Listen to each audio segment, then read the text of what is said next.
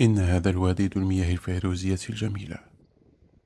كان موضع أول سد بني بإقليم تطوان وثاني أقدم المنشآت المائية بشمال المغرب. إنه سد النخلة الواقع في منطقة طبيعية رطبة بالجزء الجنوبي الغربي من إقليم تطوان انطلقت أعمال البناء في هذا السد خلال الخمسينات من القرن الماضي. قبل أن يفتتح سنة 1961 وهو الذي يوجد حاليا بتراب جماعة الزينات.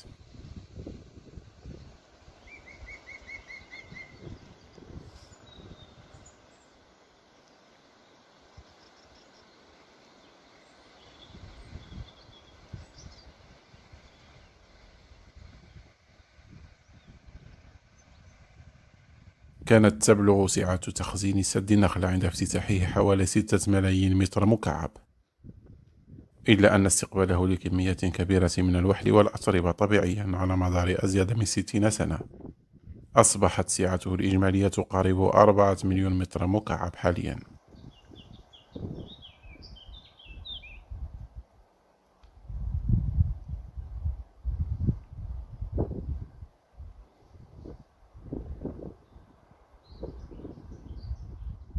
قد تعتبر سعة التخزين التي بني بها سد النخلة صغيرة مقارنة بحجم الواردات المائية الكبيرة التي يتلقاها الحوض الهيدروغرافي للواد.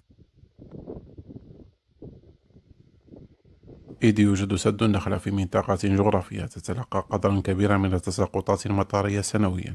تملأ السد حتى قبل بداية فصل الشتاء في بعض المواسم. إذ يعتبر سد النخلة الوحيد وطنيا. الذي تصل نسبة ملئه مئة في المئة في كل موسم.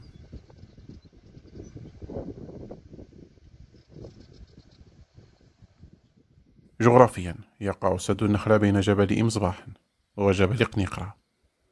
وهما جبلين غابويين ينتميان لمجال الطية الزاحفة بسلسلة جبال الريف حيث يشكل بحيرة جميلة الشكل ومميزة اللون. تظهر على يمين الطريق الوطنية رقم اثنان الرابطة بين تطوان وشفشاون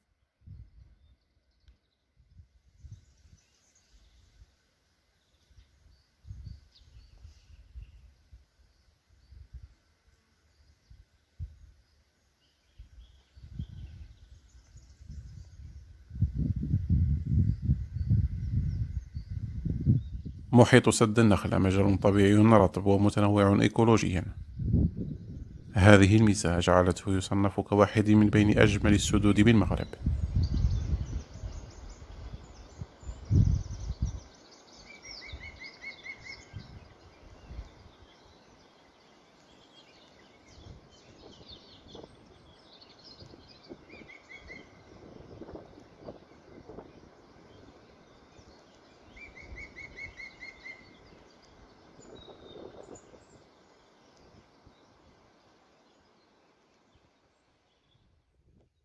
لا تنسوا متابعة باقي الحلقات الخاصة بالبرية المغربية على قناتكم ماروكو جيو. كما يمكنكم التعرف عبر القناة على ترتيب أكبر السدود بالمغرب حسب الجهات. أما الآن فأترككم تستمتعون بجمال الطبيعة بسد النخلة ومحيطه الطبيعي. لا تنسوا مشاركتنا آراءكم واقتراحاتكم في التعليقات.